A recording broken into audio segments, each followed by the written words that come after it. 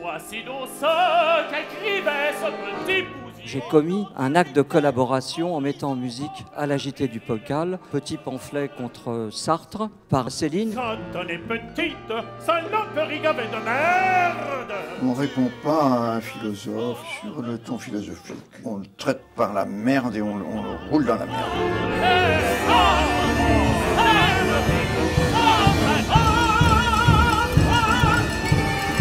Peut-être que ce soir, il y aura des gens qui vont essayer de nous interdire de la jouer. Tant mieux, tant mieux.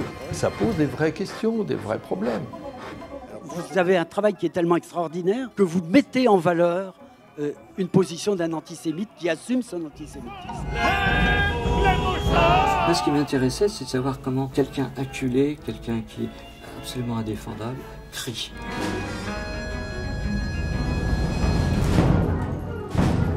Heureusement qu'il y a des cavanas quand même, ça fait du bien. Sinon, on s'ennuierait mortellement.